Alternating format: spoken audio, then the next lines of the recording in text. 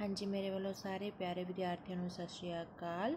ਹਾਂਜੀ, ਬੇਟਾ, ਆਪਾਂ ਆਪਣੇ ਇਸ ਪਾਠ ਦੇ ਫਰਸਟ ਪਾਠ ਦੇ ਵਿੱਚ ਪਾਠ ਨੂੰ ਪੜ੍ਹਿਆ ਸੀ, ਜਿਸ ਦਾ ਨਾਮ ਸੀ ਸੋਹਣਾ ਬੈਗ। ਔਰ ਅੱਜ ਇਸ ਪਾਠ 2 ਦੇ ਵਿੱਚ ਆਪਾਂ ਇਸ ਪਾਠ ਦੇ ਪ੍ਰਸ਼ਨ ਉੱਤਰ ਬੁੱਕ ਵਰਕ ਡਿਸਕਸ ਕਰਾਂਗੇ। ਸੋ ਤੁਸੀਂ ਧਿਆਨ ਨਾਲ ਸੁਣਨਾ ਹੈ ਔਰ ਸਮਝਣਾ ਹੈ, ਠੀਕ ਹੈ ਬੇਟਾ? ਹਾਂਜੀ, ਸਭ ਤੋਂ ਪਹਿਲਾਂ ਆਪਾਂ ਕਰਾਂਗੇ ਇਸ ਪਾਠ ਦੇ ਸ਼ਬਦ ਅਰਥ ਇਹ ਸ਼ਬਦ ਅਰਥ ਤੁਸੀਂ ਆਪਣੇ ਨੋਟਬੁੱਕ ਤੇ ਰਾਈਟ ਕਰਨੇ ਹਨ, ਲਿਖਣੇ ਹਨ, ਠੀਕ ਹੈ? ਸੋ ਪਹਿਲਾ ਹੈ ਜ਼ਾਹਰ। ਜ਼ਾਹਰ ਕਰਨਾ ਮਤਲਬ ਪ੍ਰਗਟ, ਸਾਫ਼ ਸਾਹਮਣੇ ਠੀਕ ਹੈ ਫੁੱਟ ਫੁੱਟ ਕੇ ਰੋਣਾ ਬਹੁਤ ਉੱਚਾ ਉੱਚਾ ਰੋਣਾ ਜਾਂ ਬਹੁਤ ਦੁਖੀ ਹੋਣਾ ਠੀਕ ਹੈ ਹਟਕੋਰੇ ਲੈਣਾ ਹਟਕੋਰੇ ਲੈਣਾ ਮਤਲਬ ਹੌਕੇ ਲੈ ਕੇ ਰੋਣਾ ਹੌਕੇ ਲੈ ਕੇ ਰੋਣਾ ਜਿੱਦਾਂ ਕਿ ਬਹੁਤ ਉੱਚੀ ਰੋਣੇ ਆ ਤਾਂ ਬੱਚੇ ਅ, ਰੁਕ ਰੁਕ ਕੇ ਰੋਂਦੇ ਆ ਬਹੁਤ ਅ, ਹੌਕੇ ਜੇ ਲੈ ਕੇ ਰੋਂਦੇ ਆ ਠੀਕ ਹੈ ਨੀਵੀਂ ਪਾ ਲੈਣਾ ਮਤਲਬ ਸ਼ਰਮਸਾਰ ਹੋਣਾ ਸਫਲਤਾ ਕਦਮ ਚੁੰਮੇਗੀ ਕਾਮਯਾਬੀ ਪ੍ਰਾਪਤ ਹੋਵੇਗੀ ਪ੍ਰਣ ਪ੍ਰਣ ਮਤਲਬ ਸੌ ਕਸਮ ਵਾਦਾ ਪੱਕੀ ਗੱਲ ਬਚਨ। ਠੀਕ ਹੈ ਬੇਟਾ? ਸੋ ਇਹ ਸੀਗੇ ਸ਼ਬਦ ਅਰਥ ਔਰ ਇਹਨਾਂ ਨੂੰ ਤੁਸੀਂ ਨੋਟਬੁੱਕ ਤੇ ਲਿਖਣਾ ਹੈ। ਹੁਣ ਆਪਾਂ ਇਸ ਪਾਠ ਦਾ ਅਭਿਆਸ ਕਰਾਂਗੇ। ਪਾਠ ਬੋਧ। ਠੀਕ ਹੈ? ਇਹਦੇ ਵਿੱਚ ਸਭ ਤੋਂ ਪਹਿਲਾਂ ਕੀ ਹੁੰਦਾ ਹੈ? ਮੌਖਿਕ ਕੰਮ। ਮੌਖਿਕ ਕੰਮ ਮਤਲਬ ਇੱਕ ਵਾਰ ਪੜਨ ਵਾਲਾ ਕੰਮ ਹੈ। ਦਿੱਤੇ ਗਏ ਸ਼ਬਦਾਂ ਦਾ ਸ਼ੁੱਧ ਉਚਾਰਨ ਕਰੋ। ਉਚਾਰਨ ਕਰੋ ਮਤਲਬ ਬੋਲੋ। ਠੀਕ ਹੈ? ਸ਼ਰਾਰਤੀ, ਪ੍ਰੀਖਿਆ, ਮਿਹਨਤੀ, ਦਿਖ, ਸਮਝਾਉਣਾ, ਝਗੜਨਾ ਜ਼ਾਹਰ, ਭਰਿਆ, ਜ਼ਰੂਰ, ਗਰੀਬ। ਠੀਕ ਹੈ?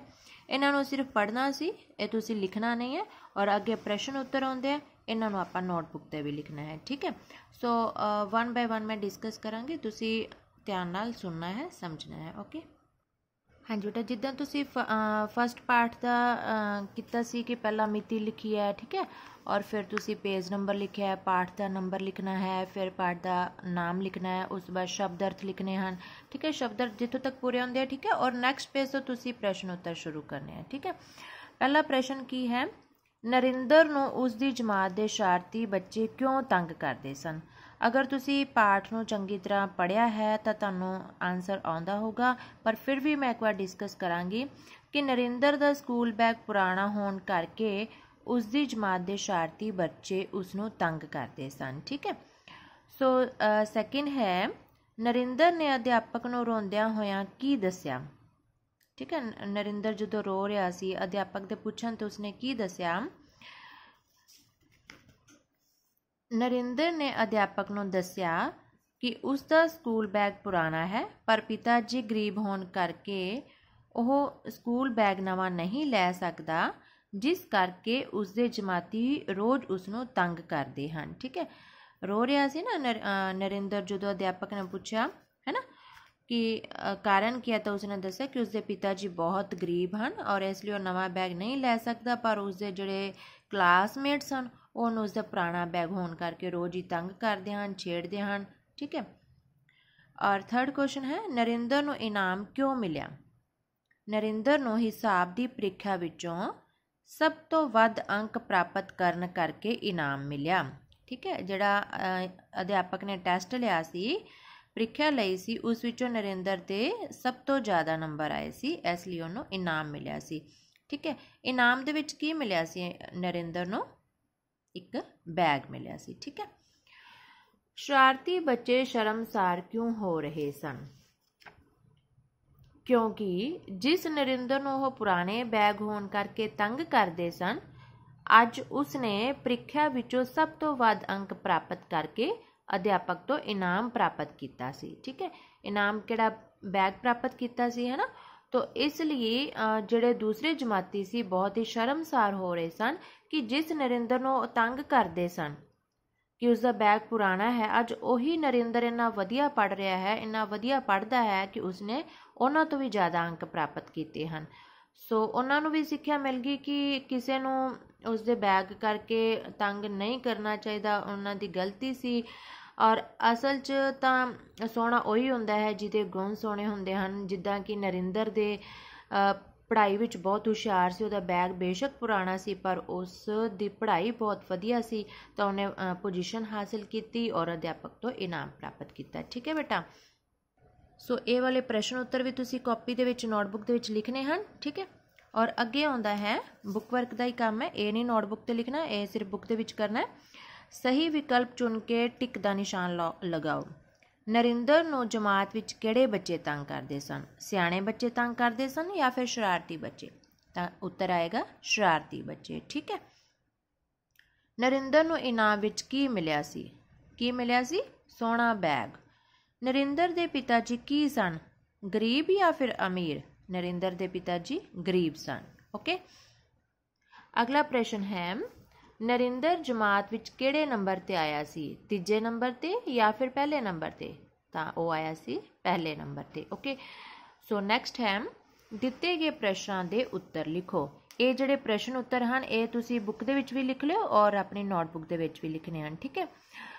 ਹਾਂਜੀ ਬੇਟੇ ਕੁਝ ਬੱਚੇ ਕੀ ਕਰਦੇ ਹਨ ਕਿ ਪਾਠ ਜਿਹੜਾ ਪੜਿਆ ਹੁੰਦਾ ਪਾਰਟ 1 ਦੀ ਵੀਡੀਓ ਨੂੰ ਨਹੀਂ ਦੇਖਦੇ, ਉਹ ਸਿੱਧਾ ਕਹਿੰਦੇ ਕਿ ਸਾਨੂੰ ਤਾਂ ਪ੍ਰਸ਼ਨ ਉੱਤਰ ਵਾਲੀ ਵੀਡੀਓ ਹੀ ਦੇਖਣੀ ਹੈ। ਸਿਰਫ ਪ੍ਰਸ਼ਨ ਕਰਦੇ ਆ। ਠੀਕ ਹੈ?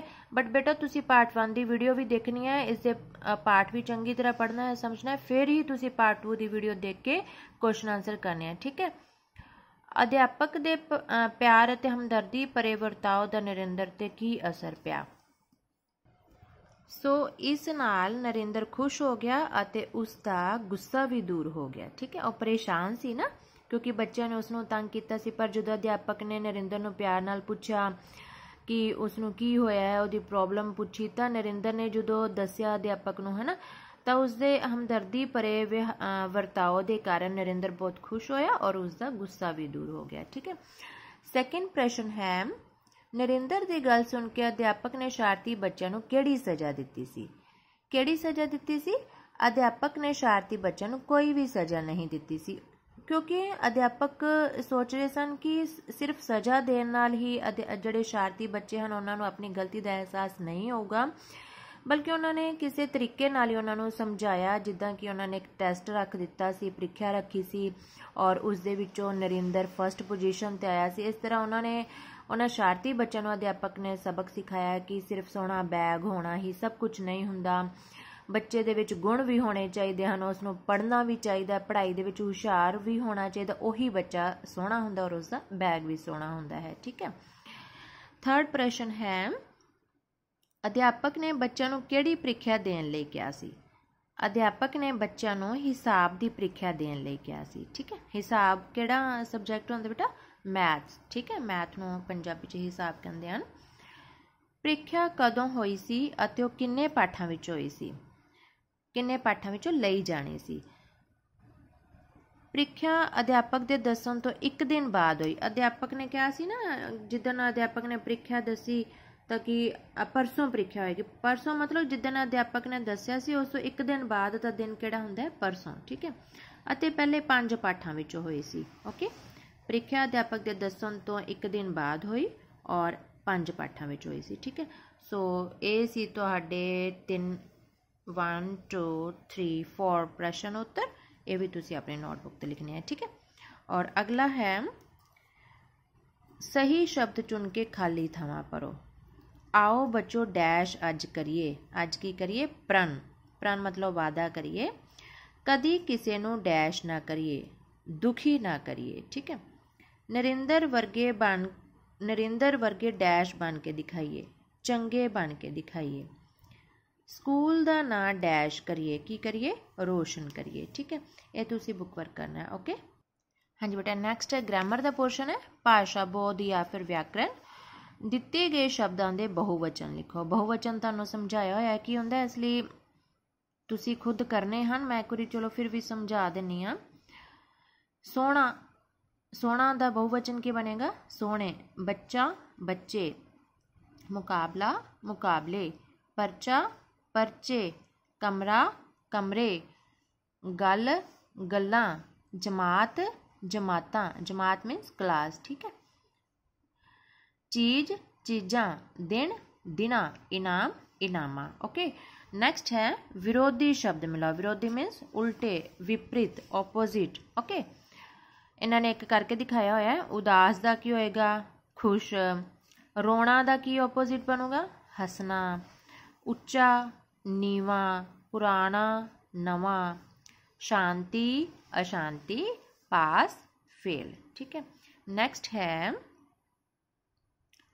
ਖਾਲੀ ਥਾਵਾਂ ਭਰੋ ਬੱਚੇ ਜਮਾਤ ਵਿੱਚ ਲੜ, ਡੈਸ਼ ਸਨ। ਇਹ ਆਪਣੀ ਬੁੱਕ ਦੇ ਵਿੱਚੋਂ ਹੀ ਹੈ, ਹੈਨਾ? ਪਾਠ ਦੇ ਵਿੱਚੋਂ ਹੀ ਲਏ ਗਏ ਖਾਲੀ ਸਨ। ਬੱਚੇ ਜਮਾਤ ਵਿੱਚ ਲੜ ਰਹੇ ਸਨ। ਠੀਕ ਹੈ। ਇੱਕ ਬੱਚਾ ਰੋ ਰਿਹਾ ਸੀ। ਅਧਿਆਪਕ ਨੇ ਬੱਚਿਆਂ ਨੂੰ ਸਮਝਾਇਆ। ਨਰਿੰਦਰ ਨੂੰ ਇਨਾਮ ਵਿੱਚ ਇੱਕ ਬੈਗ ਮਿਲਿਆ ਸੀ। ਸਾਰੇ ਬੱਚਿਆਂ ਨੇ ਨਰਿੰਦਰ ਲਈ ਤਾੜੀਆਂ ਮਾਰੀਆਂ ਓਕੇ ਸੋ ਇਹ ਤਾਂ ਹੋ ਗਿਆ ਆਪਣੇ ਖਾਲੀ ਥਾਂ ਔਰ ਨੈਕਸਟ ਹੈ ਕਲਰ ਕਰਨਾ ਬੇਟਾ।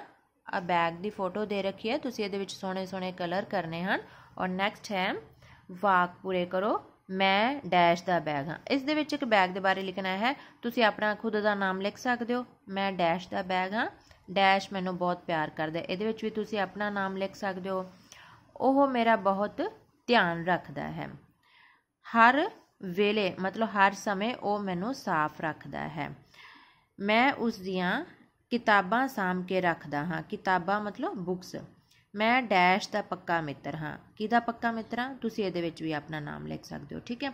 ਸੋ ਬੇਟਾ, ਇਹ ਤਾਂ ਸੀ ਆਪਣਾ ਸਾਰਾ ਬੁੱਕ ਵਰਕ ਔਰ ਪ੍ਰਸ਼ਨ ਉੱਤਰ। ਇਹਨਾਂ ਦੇ ਵਿੱਚੋਂ ਪ੍ਰਸ਼ਨ ਉੱਤਰ ਔਰ ਸ਼ਬਦ ਤੁਸੀਂ ਆਪਣੇ ਨੋਟਬੁੱਕ ਦੇ ਵਿੱਚ ਲਿਖਣੇ ਹਨ। ਡਾਰਕ ਗ੍ਰੀਨ ਕਲਰ ਦੀ ਤੁਹਾਡੀ ਪੰਜਾਬੀ ਦੀ ਨੋਟਬੁੱਕ ਹੈ। ਸੋ ਇੱਕ ਰਿਕੁਐਸਟ ਹੋ ਰਿਹਾ ਕਿ ਸਿਰਫ ਤੁਸੀਂ ਪ੍ਰਸ਼ਨ, ਉੱਤਰ ਔਰ ਬੁੱਕ ਵਰਕ ਡਿਸਕਸ਼ਨ ਵਾਲੀ ਵੀਡੀਓ ਨਾ ਦੇਖਿਓ ਕਰੋ। ਫਰਸਟ ਪਾਰਟ ਵੀ ਦੇਖਿਆ ਕਰੋ, ਸੁਣਿਆ ਕਰੋ, ਸਮਝਿਆ ਕਰੋ। ਤਾਂ ਹੀ ਲੌਂਗ ਟਰਮ ਤੁਹਾਡੇ ਦਿਮਾਗ ਦੇ ਵਿੱਚ ਪ੍ਰਸ਼ਨ, ਉੱਤਰ ਯਾਦ ਰਹਿਣਗੇ। ਸੋ ਤੁਸੀਂ ਸਾਰੀਆਂ ਗੱਲਾਂ ਦਾ ਧਿਆਨ ਰੱਖਣਾ। Stay home stay safe thank you